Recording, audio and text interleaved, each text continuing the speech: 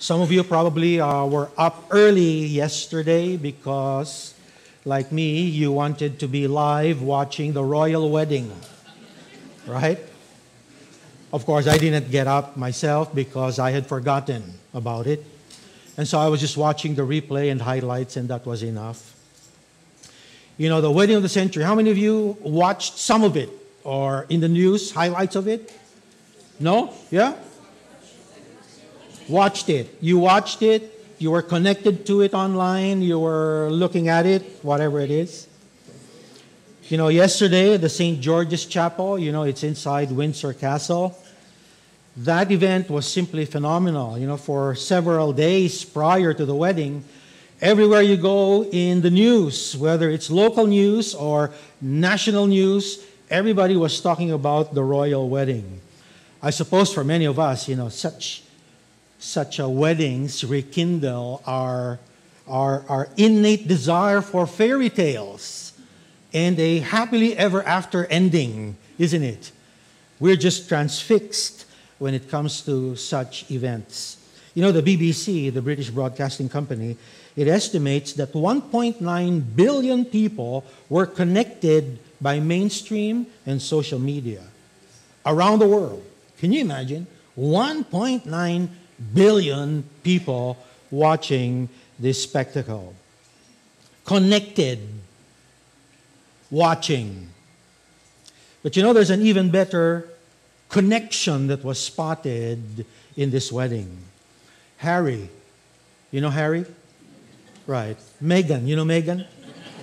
Right. I might be talking to people who don't know what's going on in the world. So, Harry and Meghan were holding hands almost the whole time in the wedding. Can you believe that? They were connected to each other the whole lot. And that in itself reminds me of our text this morning when Jesus said, I am the vine, you are the branches, abide in me. I call it holding hands with Jesus. Abide in me. And so when you look at John 15, previous to that, it was Thursday evening. You remember the story, the upper room, the Lord's Supper, Passover meal. That was Thursday night. They were there, the company with Jesus, the disciples. But this time, after the Lord's Supper, they said, Let us go. They left the upper room and they were heading back to the Mount of Olives where they would really spend the night. And the Mount of Olives was just down the Kidron Valley and up a hill. It was just close by, and that's where they went. But as they left the upper room, they would have seen the temple again, and engraved on the temple gates would be a golden vine. Engraved in the temple gates. They would probably also see some vineyards along the way as they went to the Mount of Olives. You see, they would have seen that, and even in Israel, in Jerusalem, there was a story that was often told. And it's the story that we find in Psalm 80 that there is this vine that God had transplanted out of Egypt. And the story kept being told from generation to generation. A vine that was plucked out by the Lord Himself out of Egypt, that is Israel. In other words, the vine represented Israel and their relationship with God. Now, bear that in mind. There's a golden vine on the temple gate there are vineyards around them. There's a story being told. And in the midst of all of that, Jesus said these words I am the vine, the true one. I am the vine, the true one. It is a messianic claim. Not only was he saying, yes, Israel was the vine, but Israel was that predicted, prophesied nation that would be formed by God in order that through that nation, the prophecy that the seed of this nation will actually vanquish the serpent's head, the first gospel that we hear in Genesis chapter 3, when Adam and Eve fell because of their sin. There will be a Messiah who will crush the serpent's head. And when Jesus says, I am that vine, He's saying, I am your Messiah. But he continues on, he says, basically, So here we are, the true vine. He says these words My Father is the vine dresser. Now, let me say this. Literally, my father is George. George. Like George Marte over there. My father is George because George is actually a Greek Greek word. It's transliterated into English exactly the way it's spelled, georgos. And that is where you get the word geo, geo, geo, which is earth, and ergo is work. And so the vine dresser is the earth worker. He is the farmer, he is the gardener, he is the vine dresser, all rolled into one. He works the earth in order for it to be fruitful. My Father is the one that works the earth. He is the one that works the branches. He's the one who's at work in your life in order to produce fruit. Now, here it tells us that this Father, the vine dresser, has two specific tasks. Verse 2 goes like this Every branch in me that does not bear fruit, he takes away, and every branch that bears fruit, he prunes it that it may bear more fruit. Two tasks the Father has. He truncates non bearing branches. Truncate. He cuts it off, completely cut off. He truncates fruitless branches. And the other work he does, he trims fruitful branches. There is no in between. He either truncates the fruitless one, chops it off, and the other one is he would trim, prune those that are bearing fruit so that it may bear more fruit, right? So here it is two options. If we are his branches, there's only two possibilities. We either bear fruit or we don't. There is no in between. Jesus doesn't give any other possibility. In fact, the destinies are also very clear. If we are fruitless, we're thrown away, we're burned. If we're fruitful, we are trimmed, we're pruned some more. Again, there are no other options. It's either we're thrown away or we're trimmed to be more fruitful. Now, the question is what is fruit in the New Testament? What does it mean to bear fruit? You know, that word fruit is used 66 times in the Bible, in the New Testament. 66 times. And you know what some of us will say? Probably fruit means uh, soul winning. That the fruit of being a follower of Christ is we win souls for Jesus Christ. And that is true. However, that word for soul winning, fruit of our soul winning, is only used once out of the 66 times. In other words, fruit in the Bible, 65 times in the New Testament, it refers to the fruit of godliness, the fruit of life change, the fruit of character change. In other words, it refers to the production, it refers to the manifestation of Christian virtue in our lives through the action of the Holy Spirit. Change in our attitudes, change in the way we conduct ourselves. So, fruit is that development of the spiritual life. The development of spiritual life, some of which we will see later on in this passage. So remember Galatians 5, the fruit of the Spirit love, joy, peace, patience, kindness, goodness, faithfulness, gentleness, self control, right? And then there's also fruit that you'll find in 2 Peter chapter 1 verses 5 through 8. It talks about moral excellence. It talks about perseverance and all those things that are part of what it takes to have a godly character. And so, in Jesus' allegory of the vine, every true follower bears fruit, and the normal progress is fruit, more fruit, much fruit. Fruit, more fruit, much fruit. In other words, we are changing all the time for the better. For the better. And if we are not changing at all in terms of godliness, that's a problem. Because that is abnormal. The normal Christian life is to bear fruit, and then more fruit, and then much fruit. To simply profess faith in Jesus Christ, but remain fruitless, is unnatural. You see, salvation by grace through faith in Jesus Christ is certainly awesome. But you see, knowing that truth is not quite the same as possessing, acquiring that truth. You see, we're not saved by mere profession of faith. We're not saved by raising our hands. We're not saved by standing up. We're not saved by going to the front and making a profession. Although that is the behavior we find, but that in itself doesn't save.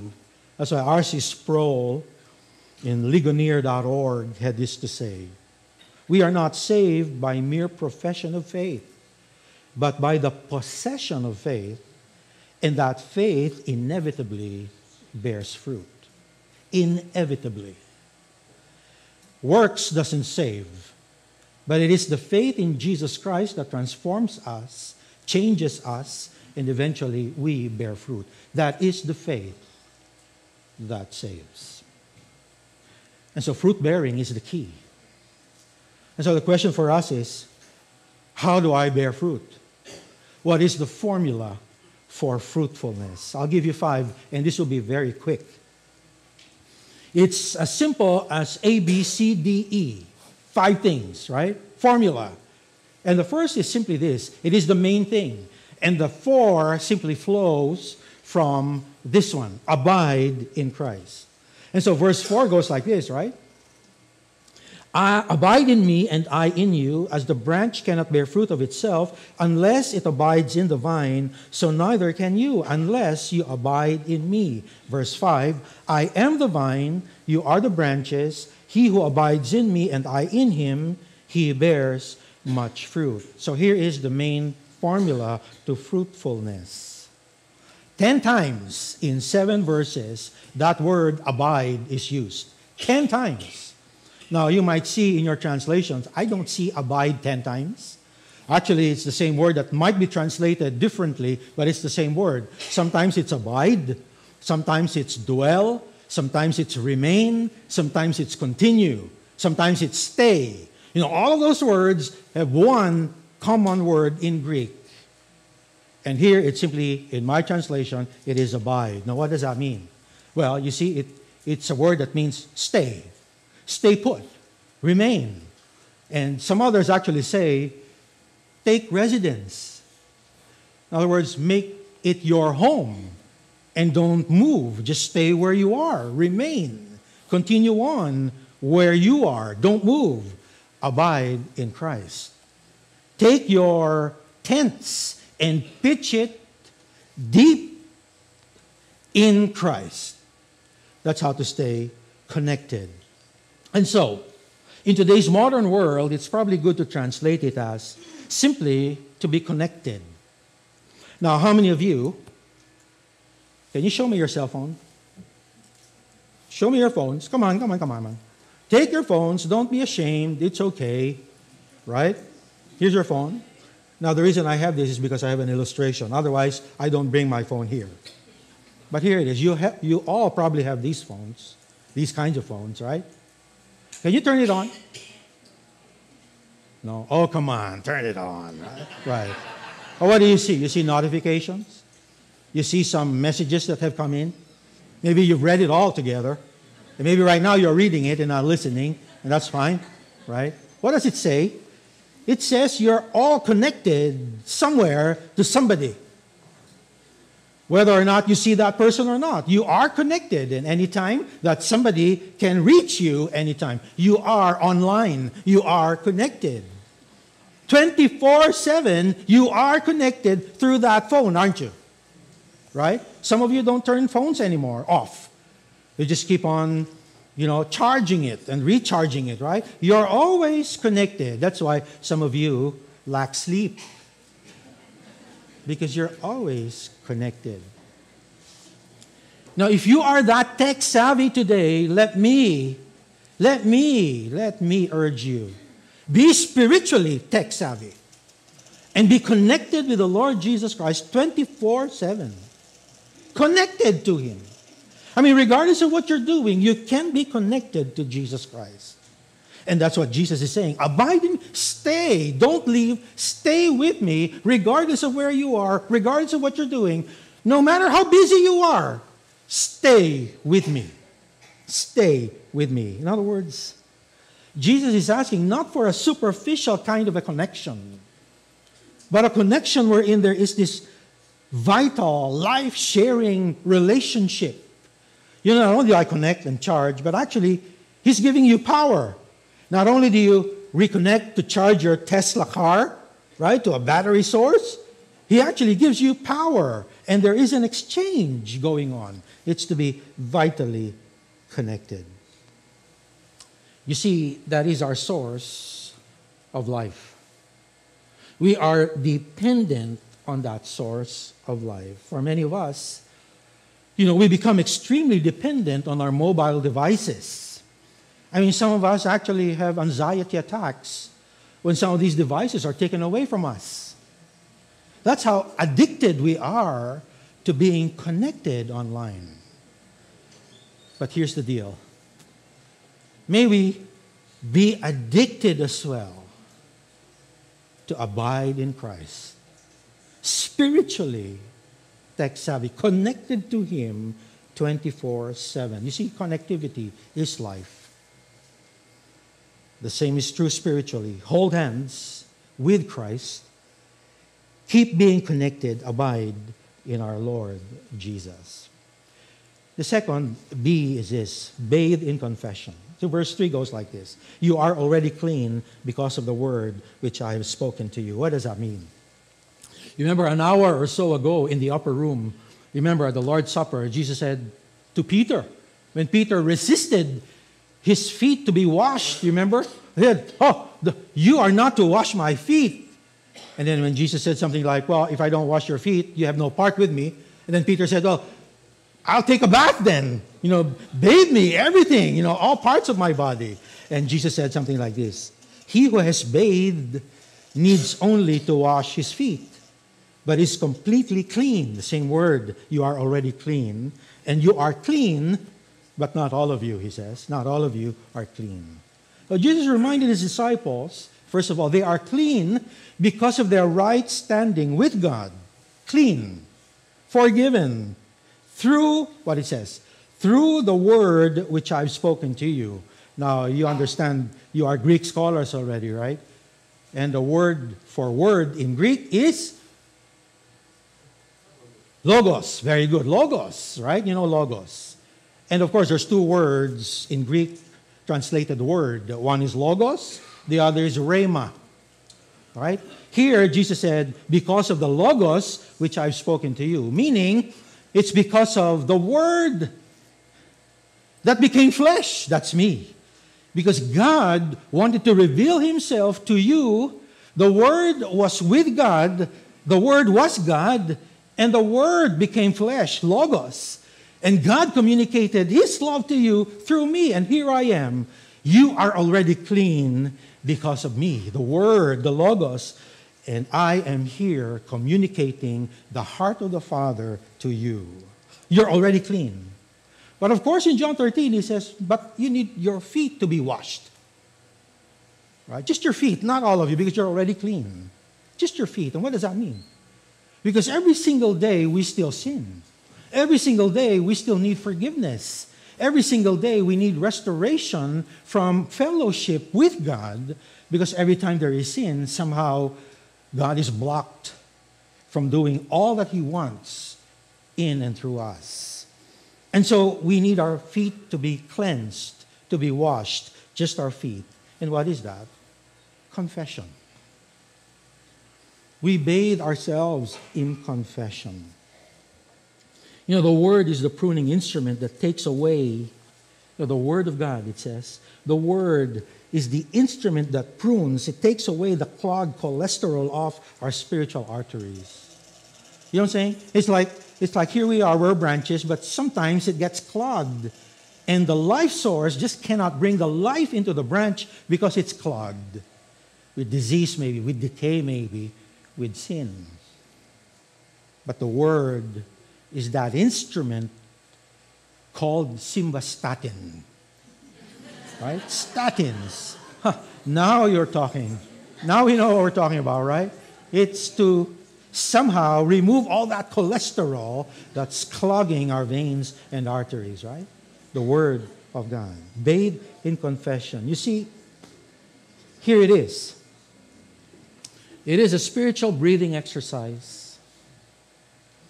That when we inhale God's forgiveness, we exhale all of our sins. That's why we bathe in confession. They say, well, you are already clean, but not all of you. Some of you need to wash their feet. Why? Because we lose that fellowship with Him because of our sins. So we bathe ourselves in confession. Here's the third. You continue in His word. So, verse 7 If you abide in me, my words abide in you, He says. My words abide in you. Now, earlier it was Logos. You are already clean through the word Logos. This time, if you abide in me, and my words, Rhema, abide in you. What's the difference? Well, it is His everyday word to us. It is the scriptures to us. It is every time I commune with God, He tells me something different about Himself, about me, about my world, that I learn His words, His utterances, the scriptures.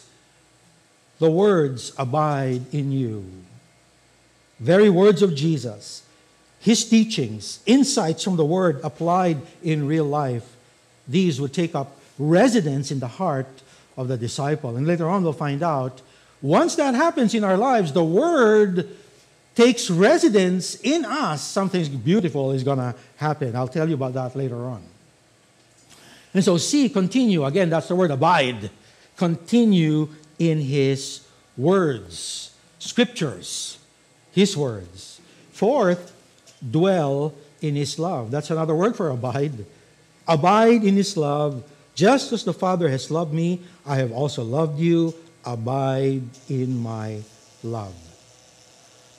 Now, Eugene Peterson somehow trans, translated or paraphrased it this way. He said, We are to bask and dip into the cesspool of God's unconditional, abundant, and transforming love. Now, obviously, this goes against the grain of modern living, this kind of a a love that is so transforming, abundant, and unconditional. That is actually quite foreign from the world. Now, some of you might have listened to the sermon, the message of Bishop Michael Curry at the wedding. He talked about love, isn't it? The power of love, right? Well, it is indeed very powerful, this love of God. That's very true. But I think he failed somehow in really declaring the gospel for what it is. But that's fine. You see, the gospel, God's love for us, is not simply a kind of love that we seek to imitate. You know, that's kind of a moralism, isn't it? You know, we, we just imitate Jesus' example. And of course, his examples are powerful, but it's not just seeing who Jesus is and trying to be like him. That's that's what people say we're guilty of moralism. It's the same as legalism. We simply try to be what Jesus is, and that's okay. But you see, it's not about our power to be like Him, it's not about just trying hard to be more like Him. It's about His love getting into me, and that kind of a love gets into me in such a way that it makes me repent of all of my sins. And it makes me understand who I am before God and before Him. All I can really do is to humble myself and surrender myself and drown myself in the kind of love that only He can give that is unconditional. It's not because of what I've done, it's not because of me, it's not because of who I am. It's simply because He loves me, and it is that kind of a love through the cross that I am changed. We cannot love the same kind of love if we merely imitate Him. that love needs to work itself in our hearts to transform us. And here's the deal. You know, sometimes if if you are honest, and I'll try to be honest with you, you see, many a times I try to earn love. Many a times I live my life trying to earn somebody's pleasure. And that's a hard way of living. Very hard. Two weeks ago, I confessed to the people in the prayer meeting. I confessed, I was sharing. And I said, You know, I, I am very tired. I've come to the point where I am people weary. Is there such a word? People weary. I just get tired of constant exposure, engagement with people. And after a while, you just have no energy. You just feel so exhausted. You see, that kind of a life, I get more exhausted when I begin to play the game. That the reason I perform and the reason I do, the reason I move, is because I always seek to earn the love of others. I seek to earn the pleasure of somebody. I seek to live according to the expectation of somebody else. And after a while, I'm exhausted. Because I forget in this momentary spiritual space of my life. That the only reason I am alive and am able to do and work is because of God's love for me. And that is all that is really necessary, brothers and sisters. For you and me to live this life and know without a shadow of a doubt that this God loves me through Jesus Christ. And that is all I really need in this life. That is really all. That's why Jesus says, drown yourself in this cesspool of my love. Because that's what it's going to take for your life to be so vital, for your life to truly change. Is to be the kind of person He wants you to be. And that's only going to happen when I drown myself, submerge myself in His love and not anybody else's dwell in His love. And so settle down.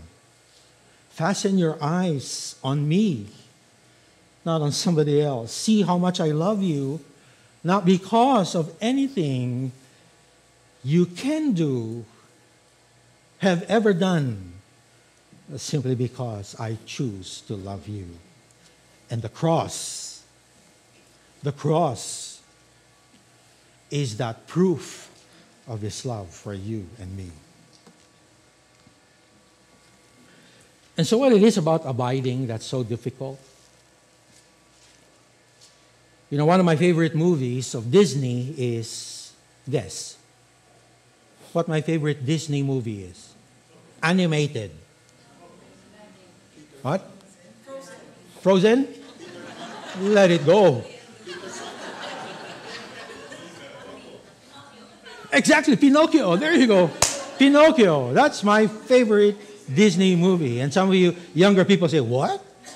What's Pinocchio? Well, Pinocchio. And remember the cricket? What's his name? Jiminy Cricket. And what is Jiminy?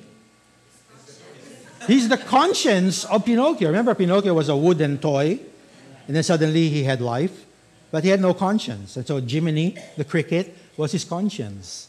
And so when every time he does a bad thing or lies, you know what happens?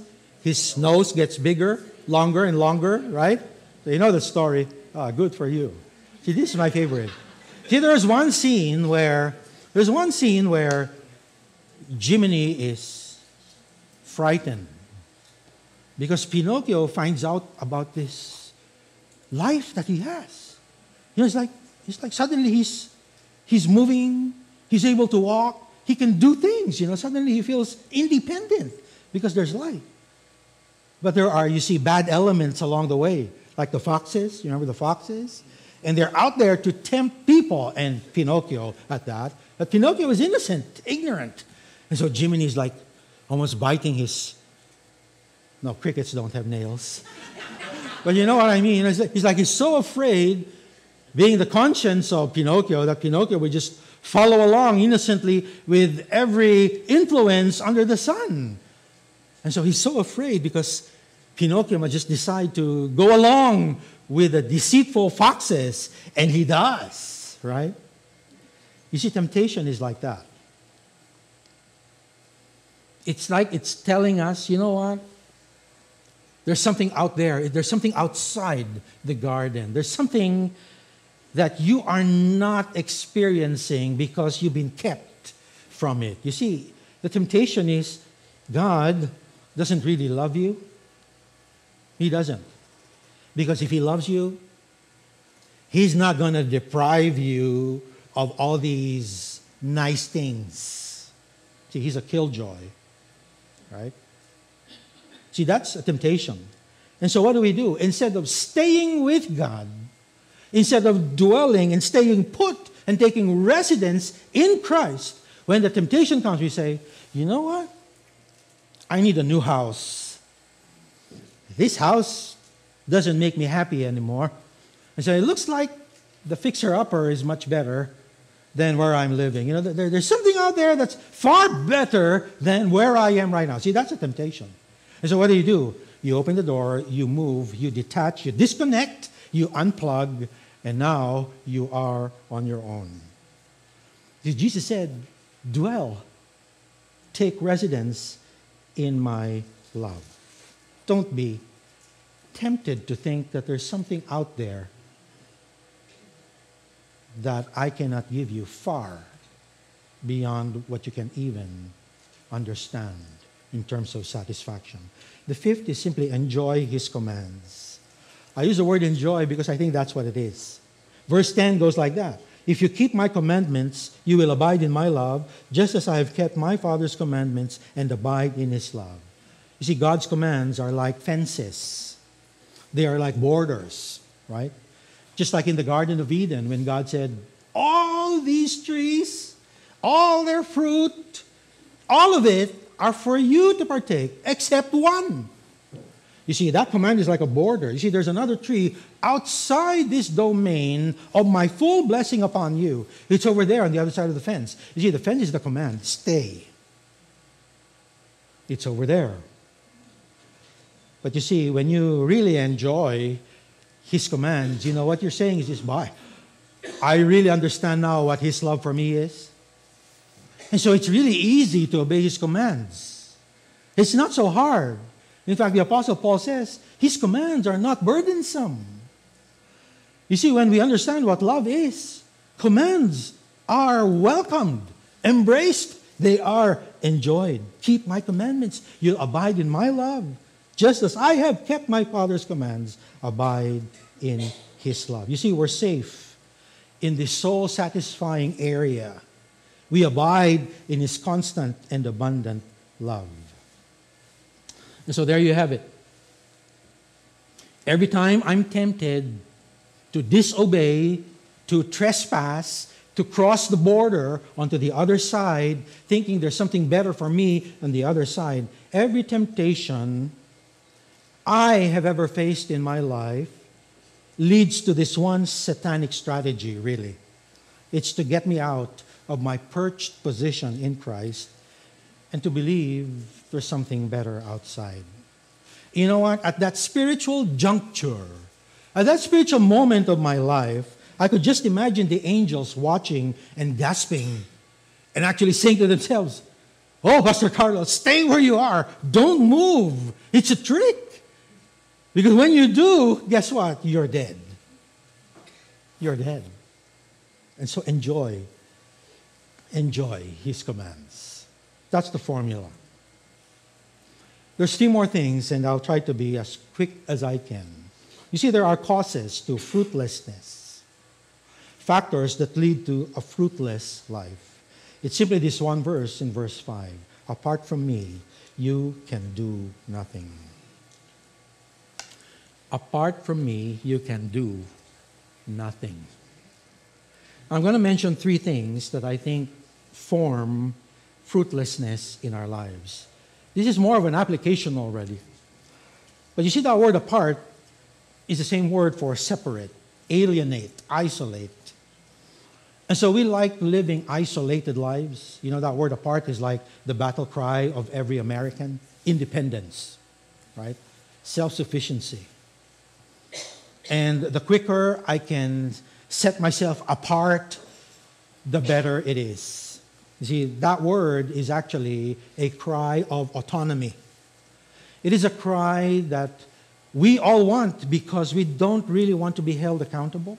We don't want. I don't want people watching me all the time and watching my every move. I don't want. We don't like to be held accountable. And that's what that word means apart.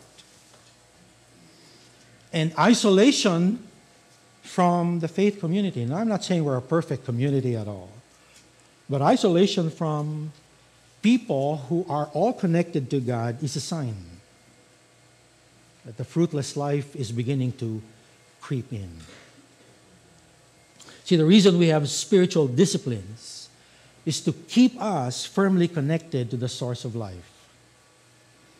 You see, one side of us says we are dependent. We need a life source. That's why we're plugged in, we're connected. We're dependent in that life source, on that life source. But on the other hand, we also need to be a people of discipline. See, dependence is like just simply yielding, isn't it? But you see, we need discipline because that's what it takes to keep us connected. Otherwise, we drift further and further away. The second thing is this you see, apart from me, there's this erosion of devotional capacity or devotional life, the quality of my relationship with God. See, the next thing I know, this slow erosion of our capacity to till the soil of our soul. You know, there is no longer my any desire to remain connected with God because we've found alternate soul deadening connectedness with other things. It's soul deadening. You know, and we think they are life giving, but in the end we realize they are not. Erosion. And the third is simply this you can do nothing. And the temptation is to, I can do many things. I am somebody, I've got skills, I got gifts.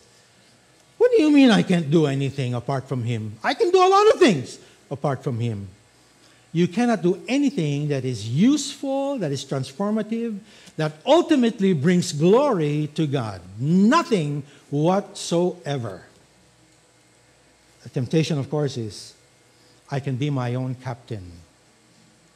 I am the captain of my soul. I don't need anything. Parting shot, that final stroke of pulling the plug is to declare, I am. Not Jesus, but I am. And so it leads to this fate of fruitlessness. What is the outcome of fruitlessness? And so verse 6 goes like this If anyone does not abide in me, he is thrown away as a branch, dries up, they gather them, cast them into the fire, and they are burned. Now, that is probably the greatest challenge to interpretation. Because the question is okay, what's the identity of the fruitless branch? Who are those fruitless branches? Is that a fair question? Who are they? Well, in my study, I think I've come up with at least three different interpretations. And I'll share them with you, and then I'll tell you which I think is the right one. The first interpretation fruitless branches are true Christians who finally perish. In other words, you can lose your salvation. They are true Christians, but who lose their salvation and they perish. Now, obviously, this runs counter to what I believe is a consistent pattern in biblical teaching that eternal life is truly unending. And when Jesus says, I am the life and I give you eternal life, it's not as if, well, it's no longer eternal because I take it away from you. You see, the Bible constantly teaches us that we are eternally secure, that Jesus Christ and the Father are keeping believers secure in Him. And so it cannot be that first, where true Christians suddenly perish. The second interpretation is this True Christians, these are true Christians who experience death, physical death, as a discipline in their lives. In other words, because you are not living the kind of life that God wants you to live and you are constantly disobeying Him, He's going to kill you. I mean, you're going to die. That's a penalty for your waywardness. So you might be a true believer, true follower, but you're going to die ahead of schedule, basically, right? Now, there is a bit of a problem there because here there is reference to fire, that they are burned. You know, some say, well, the fire represents the burning of their unfruitful work. And that is true in 1 Corinthians chapter 3. There is the judgment seat of Christ where believers' works will be judged. And some of the works will be burned with fire because they're made of stubble, wood, right? So that is true. But you see here, fire and burning does not refer to the unfruitful work, it refers to fire and burning of the branch itself. It is not the work of the branch, but the branch itself that is placed in the fire. So, physical death, well, it doesn't really sever our connectedness with Christ, does it? In fact, for those who are real believers in Jesus Christ, severance physically from this physical earth actually ushers us in to being face to face with God. And so it cannot be that. And so the third is what I believe it is all about. The third interpretation is this fruitless branches are those who merely profess faith in Jesus, but they are finally severed because their faith is superficial, just like Judas. Some of you are not clean, Jesus said. You see, Judas was with Jesus for three years. I mean, he was connected to Jesus. He served Jesus. He saw Jesus' miracles. He heard his teachings. He followed him wherever he went. But still, he did not possess the life sharing relationship with him. In other words, everything was external. Everything was nominal. Everything was just cultural.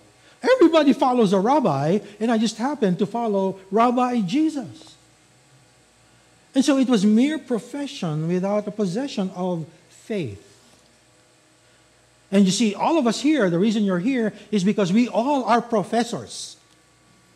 We all profess belief and faith in Jesus Christ. But you know what?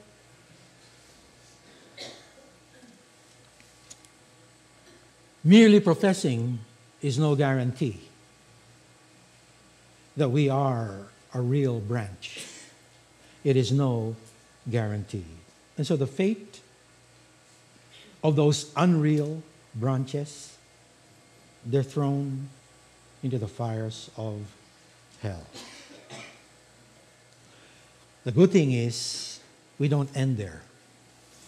You see, there are what I call the flavors of fruitfulness, or the favors, if you want it termed that way. Flavors or favors of fruitfulness. What's the outcome of a fruitful life? Well, there's four things. Very quickly, our prayers get answered. Second part of verse 7 Ask whatever you wish, it shall be done for you. Can you believe it? Everything you ask, He will grant you. Now, if we're genuinely connected with Him and His words make residence in us, then under these conditions where His words take residence in me, I can ask anything and I'm going to get it because that's what He promised. The context tells us that I am connected to Him, His words are connected with me, my life is shared with Him, He shares His life with me, and whatever I ask, because now I'm saturated with His Word, dwelling in me, whatever I ask, it shall be done for me. Wow. That is powerful, isn't it? Whatever you seek, you will get when the words of Christ dwell in you. That's why the Apostle Paul says, Let the words of Christ dwell in you richly. Richly. Because when it does, when you pray, This is really the, the, the kind of relationship we want, right? It's not just ignoring Him and taking some time to pray a little bit of prayer. Lord, bless me, bless my children, and thank you for the food. You know, it's not simply that, but it's an exchange, a sharing of life. The second thing that happens, flavors of fruitfulness, our Father gets displayed. By this is my Father glorified that you bear much fruit.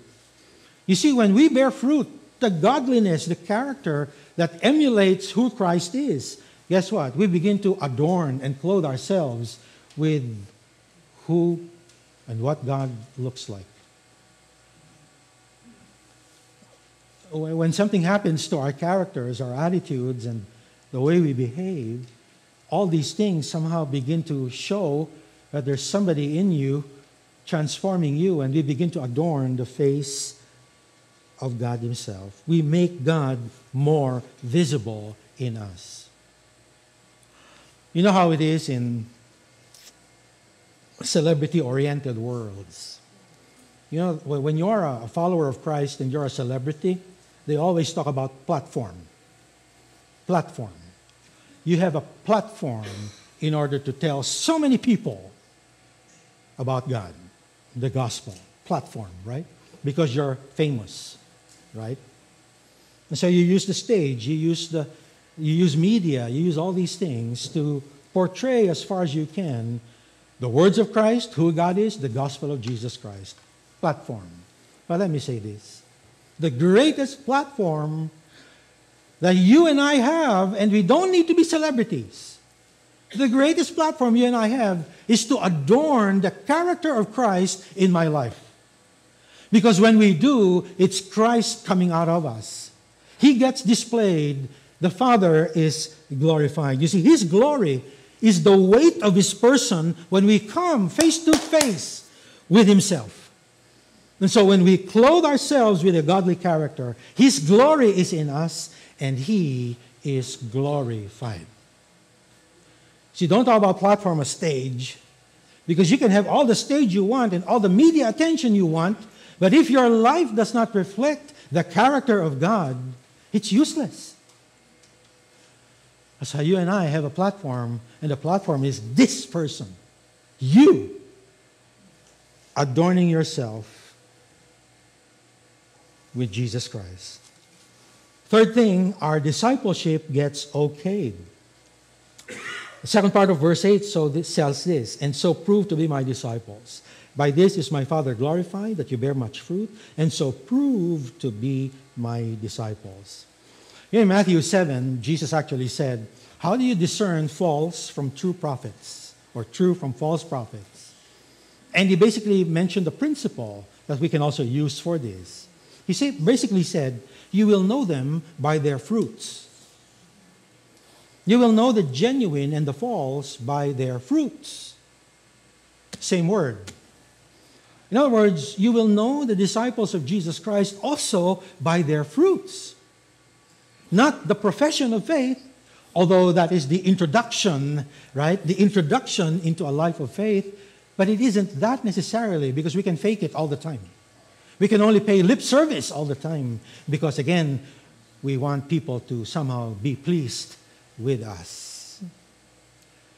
And so, here, our discipleship, you are indeed a follower of Jesus Christ because of your fruit. Now, let me say this because people ask all the time how do you really know? How do you really know that you have eternal life? How do you really know that you are saved? How do we know that somebody is saved? And let me say this in the end, ultimately, nobody really knows except two people. You know who that is? God the Father and the person himself or herself. Only they know. We can only assume by what we see and what they profess. But ultimately, only two know the answer. You, because the Spirit of God actually testifies in your soul that you are a child of God. But God also knows all things. He knows your heart. He knows whether it's false or true. Right? So, how do you know? We actually don't know. We only presume in accordance to what we observe. Our discipleship gets okayed Now, there's two things. How do you really know? Well, let me mention this. There is an objective and subjective way of knowing. The objective way is simply this. Well, I know because God's word says so. That's objective. You see, he who has the Son has the life. He who does not have the Son of God doesn't have the life. Right? In other words, John says, I, I actually write this to you so that you may know that you have life because the Son is in you. And so that is objective. In other words, if really you have somehow one time in your life said no to sin and come to faith in Jesus because that is the only way and you have allowed him to enter your life, then objectively, yes, you have life. But you see, there is a subjective way. Subjective way is the fruit of your life. Where is the fruit of your life? Because saving faith will produce that kind of fruit. But it is subjective because fruit doesn't come automatically. There is a season of fruitfulness. But it should happen because that is normal. So, your discipleship gets okayed. And finally, one more. Our joy gets loaded. Wow. And so Jesus said, These things I've spoken to you, that my joy may be in you, that your joy may be made full. Your joy may be overflowing to the brim. It's loaded, right? I mean, how many of you go to the gas station and you, you, you fill your tank fully? But some of you, you know, the thing already ejected and you still look inside and see whether, you know, the gas is still floating in there or is inside and you put more. especially when you're at Costco, you put more. You put as much as you want, right? To the brim. That's the kind of joy that Jesus promises those that are connected to Him. You know, what's going to give me the greatest possible joy here on earth? What's going to give you the greatest possible joy here on earth? Surely one of them is, you know, when I was much younger, surely one of them is when my parents are so proud of me. That thrills me no end. When we see their smiles and hear their applause for their son or daughter, boy, that gives me incredible joy. Nothing in this world gives me inexplicable and incomparable joy than to know that Jesus is smiling at me with sheer delight. If you get joy simply because your parents love you and are proud of you, think about it Jesus Himself. Think about Him smiling at you. That's the kind of joy He wants you to have overflowing. You see, this tells us that Jesus will be at it until this cup of joy has at length been filled to the very brim. You know, the author of Hebrews tells us Jesus endured the cross for the joy set before him. He endured the cross. Now, what is that joy that was set before him? Have you asked that question yourself? What is that joy that was set before him that he was able to endure the cross? Well, it's the joy of finishing the work of redemption so that you and I can have a life that is saved, transformed, used for his glory. Why John himself says, I have no greater joy than to see my children walk in truth. No greater joy than to see my children walk in truth. And so there you have it. Stay connected. And you understand what the formula looks like of connectedness. There are perils and warnings.